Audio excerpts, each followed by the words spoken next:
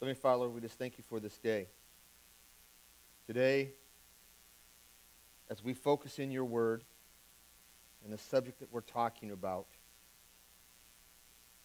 our desire is that we learn from you, that we be challenged by your word, that this isn't just a Sunday where we come and we have sung some songs and we have heard a message to be challenged by, and we walk out and we think, okay, I've done my service to God. I'm all done. Our desire today is that something has changed, that a revival would break out into our hearts, that we would get serious in our relationships with you. And that's our, uh, that's our focus. And that's the purpose. It's my purpose, the purpose of many who are here today as we look into your word. So as we are challenged from your, from your Holy Scripture, Lord, give us ears to hear and hearts to obey. In Jesus' name, amen. In the beginning was the Word, and the Word was with God, and the Word was God. And the Word became flesh and dwelt among us, and we beheld his glory the glory as the only begotten of the Father, full of grace and truth. For God so loved the world that he gave his only begotten Son, that whoever believes in him should not perish, but have everlasting life. Jesus said, My sheep hear my voice, and I know them, and they follow me and I will give them eternal life, and they shall never perish. I have come that they may have life, and that they may have it more abundantly. For I have come down from heaven, not to do my own will, but the will of him who sent me. Jesus knew specifically God's will and exactly what to do. He reveals it to us. This is the will of him who sent me, that everyone who sees the Son and believes in him may have everlasting life, and I will raise him up in the last days. In a prayer to the Father, Jesus said, I have glorified you on earth, and I have finished the work which you have given to me to do the things that matter to God mattered to Jesus. The things that mattered to God became Jesus' top priority. So, can I ask you a question? It's in regard to your inner motivation. Can you honestly say that you are open to God's direction? In regards to a given matter? Do you have an accepting mind and heart that is submissive to God's desire, to God's word, to God's authority, to God's timing?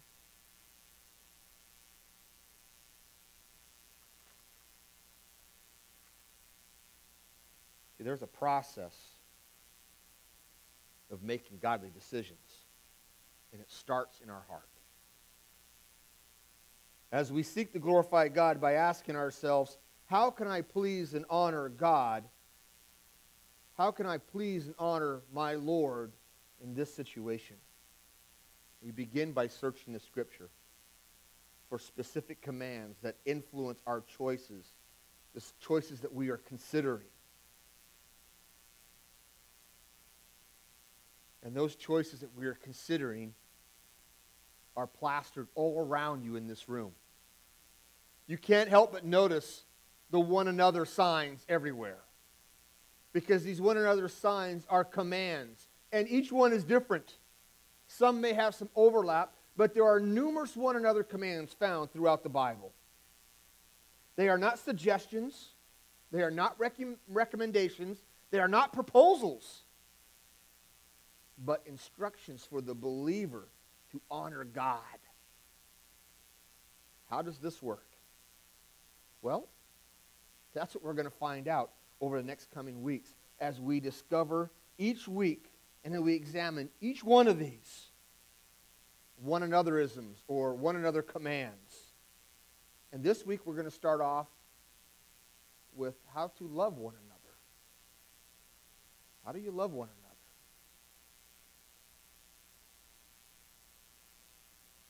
If you're in your Bibles in John chapter 13, we look at this first command. It's not first as in like the Ten Commandments, thou shalt love the Lord thy God with all thy heart. It's not number one in that order. It's not the first one another command that's listed in chronological order of the Bible. It's only first because that's the first one I chose. But it's also the first one in a sense that out of this love command, every one of the other ones seems to have a string attached to it. if you're loving one another, serving and fellowship and accepting and patience and honoring, not slandering and sympathizing with, and peace with and kindness, love seems to be connected to all of them. Wow.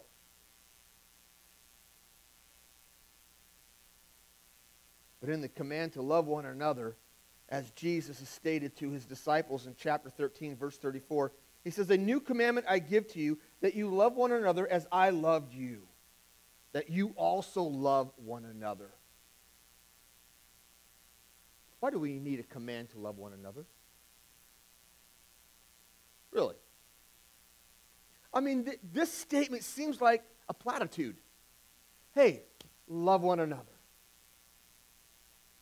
If we look into the, the specifics of what's taking place here, some background information of what's going on with the disciples. Now remember, these guys have been with Jesus for three and a half years.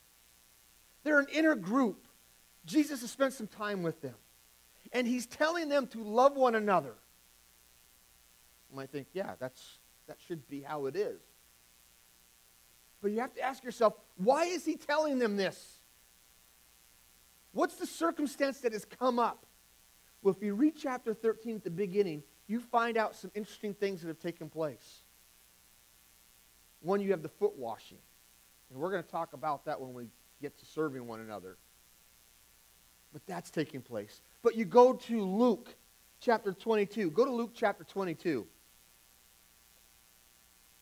Put your bulletin in in John so you don't lose your place. But if you go to Luke chapter 22, verse 24. And really quick, if you skip up ahead before 22, you'll see that the Lord institutes the Lord's Supper, communion. And at communion time, hey, that's a pretty holy time, very reverence time, right? He institutes the very first communion with his disciples. He's just had dinner with the disciples. Now all of them are together. And remember, he's had, he's had the foot washing. They've had supper together. He institutes this whole communion thing with them and verse 24. This is right after they're still in the upper room. And there rose a dispute among them, verse 24, as to which of them should be considered the greatest.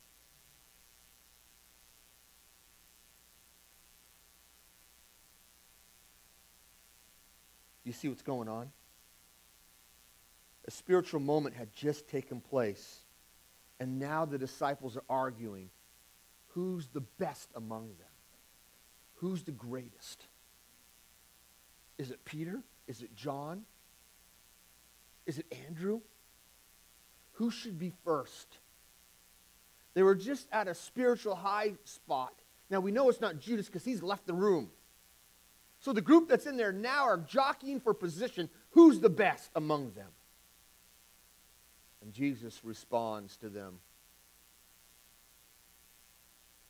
Guys, I want you to love one another.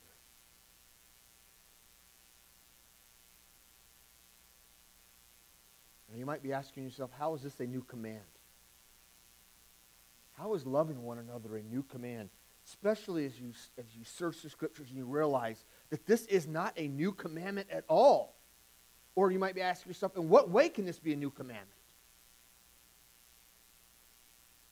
Well, you got the Old Testament and you got the New Testament. So anything in the New Testament must be new, right? No, that's not how it works. These titles of new and old just aren't thrown on there to identify something that's old and something that's new. If you go back to Leviticus chapter 19, verse 18, go ahead and do that. It's okay to use your Bible. And if Leviticus, if you just turn to that and dust flew off of there, because these pages are ancient and you've never been in there for a while, that's all right. Leviticus 19, verse 18. Check this out. This is important because this is some of the basic material that the disciples knew. They were taught this as children. And you'll see why I say, as Jesus is laying out, is this really a new commandment? In 19, verse 18, he says, Thou shalt not take vengeance nor bear any grudge against the children of your people, but you shall love your neighbor as yourself. I am the Lord. So the law teaches the children of Israel, the Jewish people, you are to love your neighbor as yourselves. Wait a minute, you've heard that phrase many, many times over and over again. Jesus taught the disciples the same thing in Matthew chapter 12, in Mark chapter 12, excuse me. He teaches them that many times over. In fact, when Jesus is challenged, what's the greatest of all the commandments? He says, Love the Lord your God with all your heart, with all your mind, with, with all your strength. I'm leaving one of those out. He says, The second is just like the first love your neighbor as yourself. If you've done these two commandments, you have fulfilled the law in its entirety. See what I mean? When you fulfill love, you tie everything in. So not only did the disciples know about the importance of loving one another from the Old Testament law, Jesus had affirmed this throughout their ministry. Love your neighbor as yourself. Love your neighbor as yourself. Great. Anybody doing that today? It's hard. We like to change that. Do it to your neighbors before they do it to you. That's the motto. Get them before they get you. So, how does that work? Well, Jesus has a command which is targeted towards a specific group. Go back to John 13, verse 34. It says, A new commandment I give to you. This command is specific towards a people group. I've never noticed this before. Oftentimes I hear this and I just read it and think, oh, that's just to everybody. Love one another. Yeah, okay, we're all supposed to do that. But Jesus is targeting us towards a very specific group of people the disciples and them alone. Now, you can make the application to all of us, yes, but hold on. Let's, let's focus our attention on this group of people who are having a hard time loving one another. Why is it when we look at the disciples and their makeup, who, ma- who made up the disciples? Who were these men? You had a tax collector, one of the most despised and hated people in the nation. And he's part of the 12. You also have a zealot.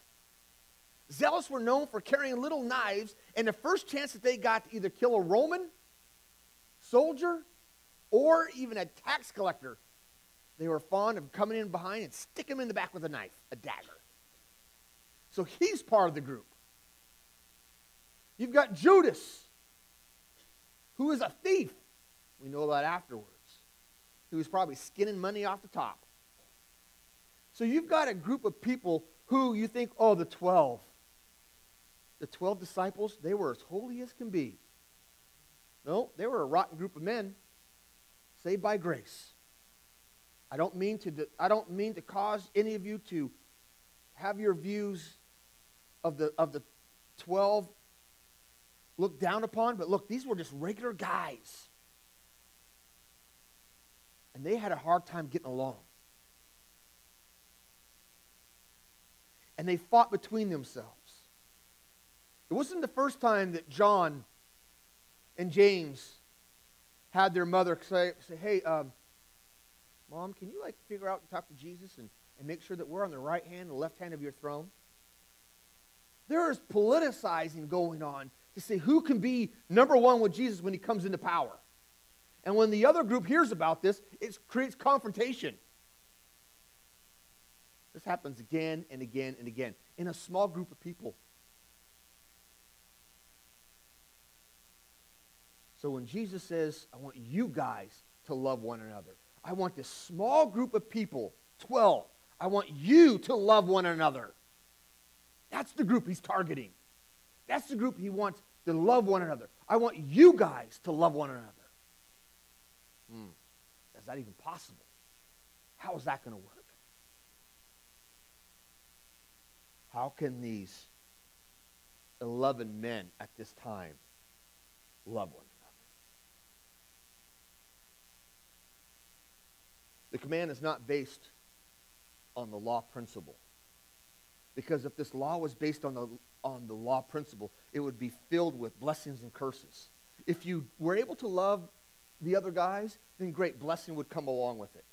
But if you didn't, then you'd be cursed.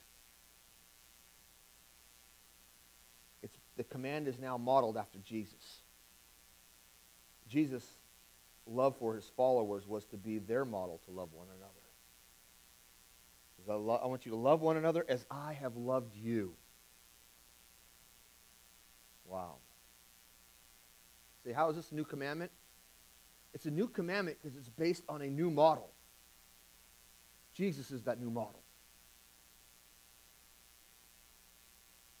They've always been told to love their neighbors, to love other people. But now the model is set up to where the standard is love one another the way Jesus has demonstrated, has modeled love. But that's, to be honest, I got to ask you ask you the question: What does that even look like? What does Christ's love look like? Because we're talking about something that happened 2,000 years ago. What does the love of Christ look like? Or you might ask, how does Jesus love me today? How am I receiving the love of Jesus? First of all, it begins with Jesus' love is always relational. I don't have a big, long list of things, and I'm sure there's plenty of other people that do, but Jesus' love has always been relational. God's love is always relational. From the very beginning, it's been relational. In the Garden of Eden, it starts off with Adam and Eve, they sin, and they hide in the garden. And God shows up and says, Hey, Adam and Eve, where are you? Oh, we're hiding because, yeah, I know why you're hiding. Come out. Sin always keeps us separate from God. And their first children, Cain and Abel, when Cain doesn't bring the right sacrifice to God, God comes into Cain's life and says, Cain, if you do what's right, won't it go well with you? Ah, see, there's the temptation. And then we find out a few sentences later that Cain kills his brother Abel. And God comes on the scene again and says, Cain, what's, what's going on? What did you do? And Cain makes excuses. See, God is relational. God is constantly initiating the relationship, even after people are sinners. In Matthew chapter 4, verses 18 to 22, we see that Jesus chose the disciples. And he says, Follow me, for I will make you fishers of men. They didn't choose him, but he chose them with a purpose and a plan for their life. In John 15, verse 16, he says, I have chosen you. You haven't chosen me. We might be surprised at least somewhat, when we, when we realize from Romans chapter 3, there is, no, there is none righteous, no, not one. There's none who understand God. There's none who seek after God. So, from mankind's perspective, no one is trying to have a relationship with God, but God is continually trying to have a relationship with us. Make no mistake, Jesus wants to have a relationship with us. Jesus wants to have a relationship with every person in this room everyone in this room, he desires to have a relationship. Regardless of the circumstances that you've gone through, regardless of the sin that's in your life currently or what you've done in your past, it doesn't matter. He wants a relationship with you. And for those of you that have a relationship with him, he wants a much deeper relationship than you already have. He wants to go further and deeper than what you currently have.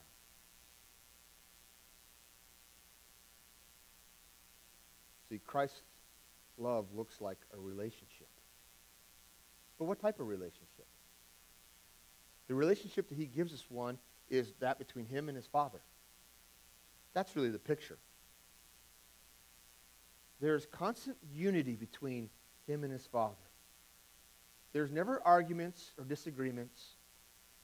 There's complete unity all the time.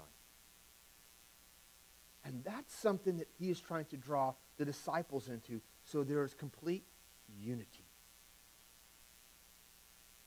Doesn't mean there's never going to be a disagreement, but there's unity.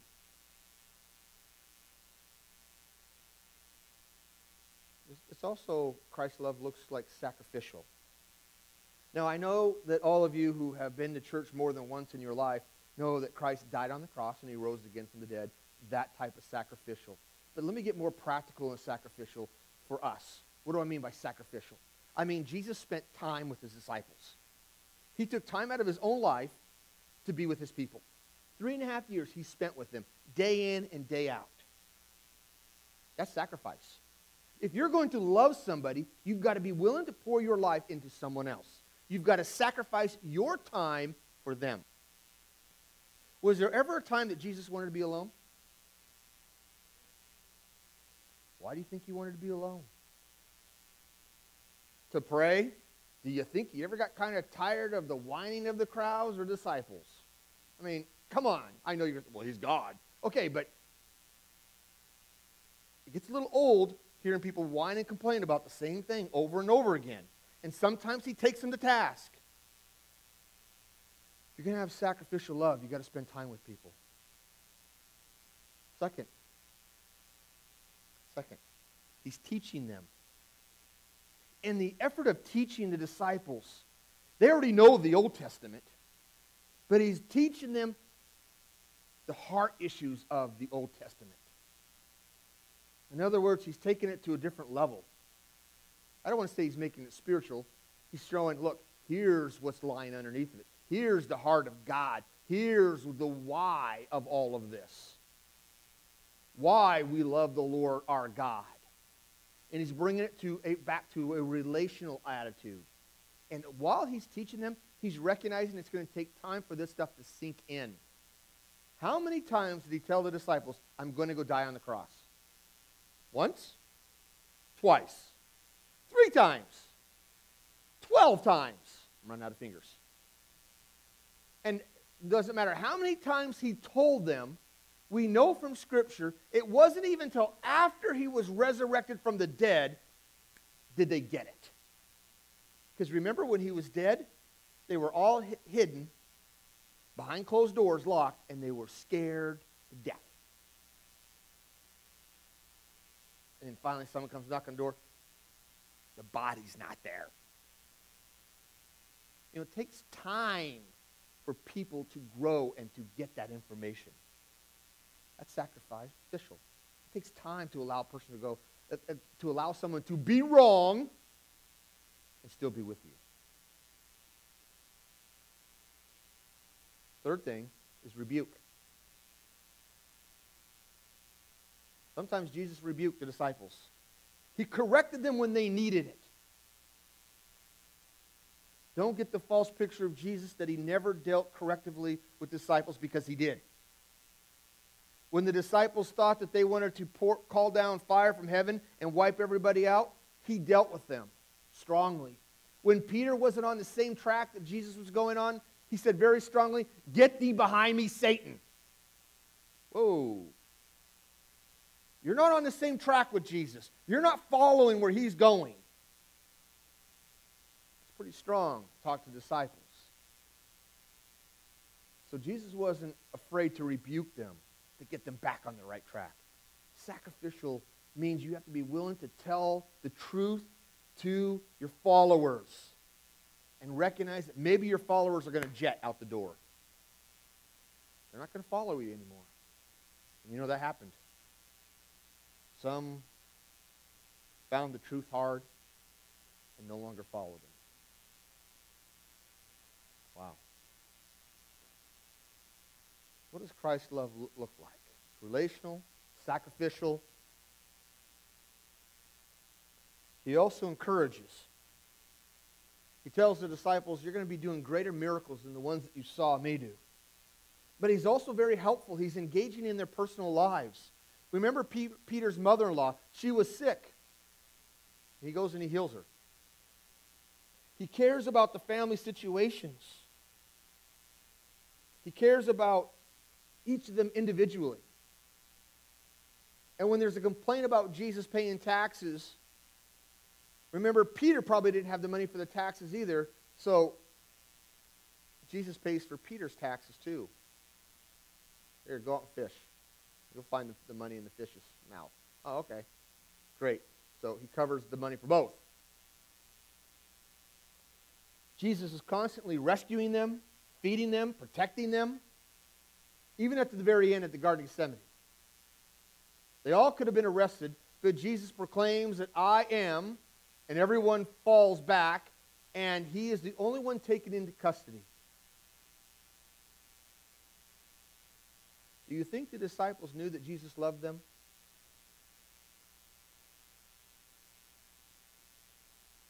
Yeah, I think so.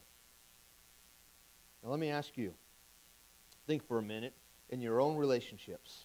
In what ways are you loving as loving as Christ loved? Mentally, you can just make a check.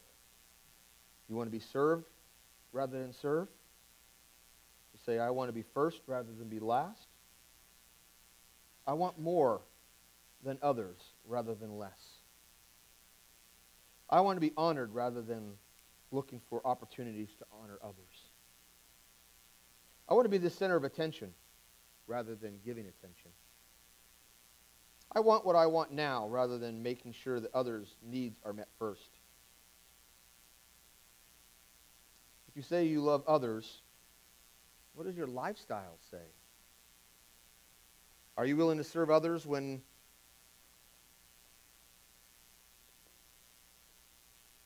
when you're not given public recognition?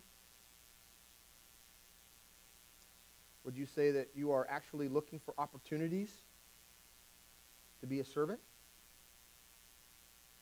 Would you say that you are actually praying for other Christians at least as much as you're praying for yourself? Would you say that you're willing to become involved in other Christians' lives? Are you willing to say that you are willing to share a significant portion of your money so that the body of Christ can function adequately?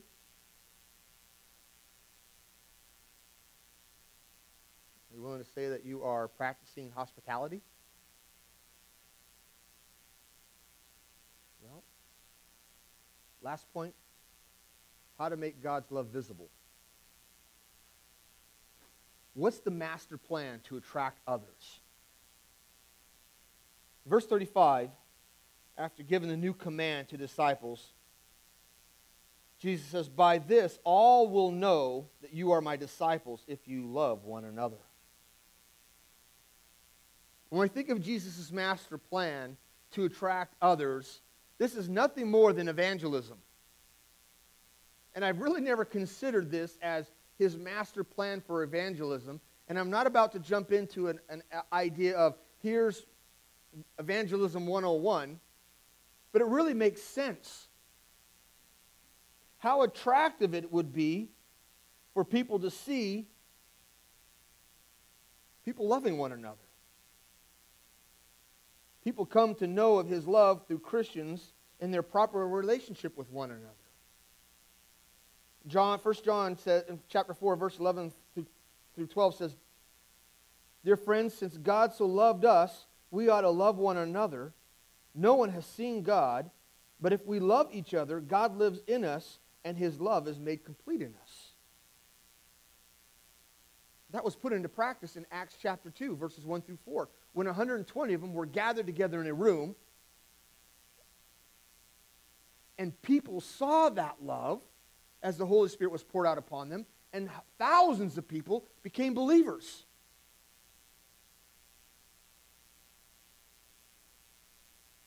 Does it work? This works every time when people are willing to love one another. When people are willing to be identified the way that Christ loved one another. One of the most challenging things I think that we face is do we believe God's word? Do we trust God's word? Will we take a step of faith and say, I will, I recognize God's word to be true. I'm going to follow God's word. And I'm not going to rely upon anything else. God saying his word is going to spread as non believers, unbelievers see Christians loving one another as Christ loved them. That will attract others. We live in a very loveless world right now. But people need to see Christians how Jesus loved them, how we love one another. Because they'll want to know what makes us different, what makes us unique. Why do we care about the things that we care about? Why are we willing to help one another out when we're not family or maybe we're not blood related? We're only related to Jesus Christ. That goes beyond logic, beyond reason.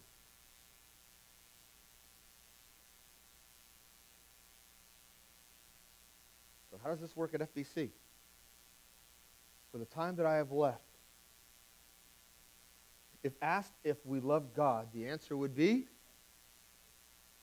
yeah. I think if I were to ask you individually, do you love God? Do you love? I think all of you would say, yes, yes. But if I were to ask you if we love people, the response might be a little bit more guarded. Which people?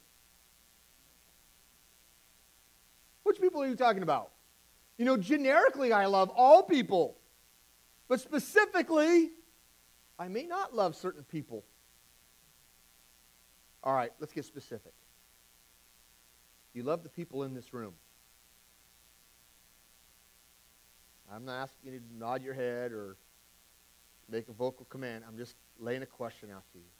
Do you love the people in this room? Do the people in this room feel loved by you? See, that's a little bit different.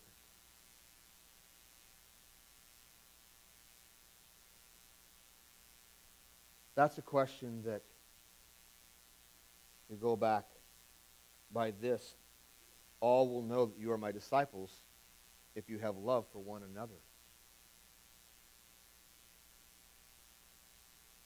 You may feel that you are loved in this room by people, but the other side of that coin is do the people in this room feel loved by you?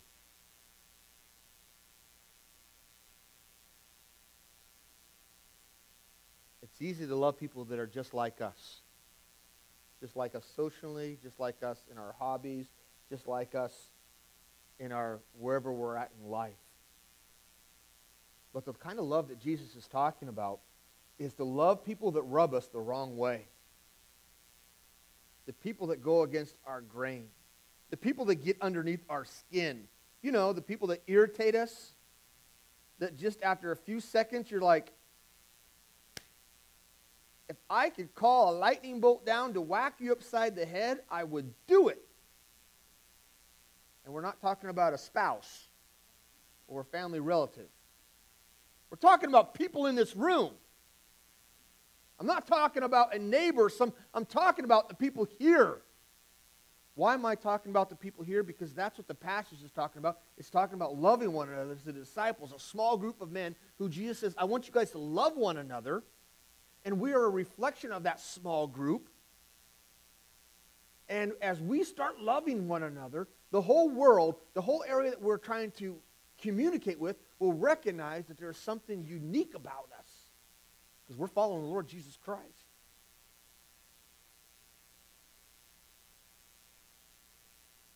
this is it right here. If we're going to be obedient to Jesus Christ, if we're going to be obedient to the command to love one another, we're going to love one another as he did, And we can't stand where we are hoping that that person somehow is either going to move away or God's going to change them. we must make a decision to obey or disobey.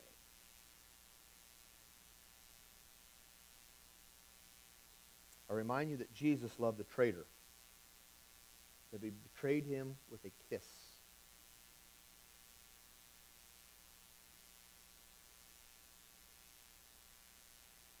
You may not have been betrayed. You might just have to put up with some things that you don't like.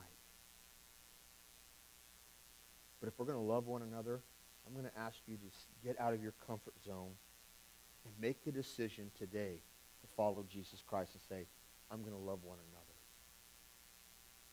Not because it's comfortable, not because it's easy, because that's what Jesus has commanded me to do, and I'm going to do that. I'm more concerned about following him than my own personal discomfort. Let me leave you with three challenges. You can write them down on a piece of paper. You can scale. One to five is a scale. One being little, three being some, five being much. Evaluate yourselves. I'm not going to be looking at these, although I'd like to, but I won't. First challenge To what degree are you committed to obeying Christ's command to love one another? The little, one, two, three, four, five. Three is some, five is much. To what degree are you committed to obeying Christ's command to love one another? That's the first question. Second question. Same thing. Give, your, give yourself a number. To what degree would you say that you are reflecting true love and unity? To what degree would you say you are reflecting true love and unity? Last, to what degree are you participating in building up the body of Christ in love by faithfully practicing one another commands? To what degree are you participating in building up the body of Christ in love by faithfully practicing one another commands? Now that you've just evaluated yourselves, you've got one, two, or three, maybe today's the day to challenge yourself and commit yourself and say, Lord, I just need to follow your commands and start obeying you. The new command I give to you that you love one another as I have loved you, that you also love one another. By this, all will know that you are my disciples if you have love for one another. Are you his disciple? The evidence is found in your actions. Let's pray. Father, again, we just thank you for our time together. Thank you for your word and the opportunity we have to look into your truth and reveal what's really in our hearts. We are challenged by what we've, what we've heard, and we know we need to make some changes. And we rejoice in what you reveal to us. In Jesus' name, amen. Ryan?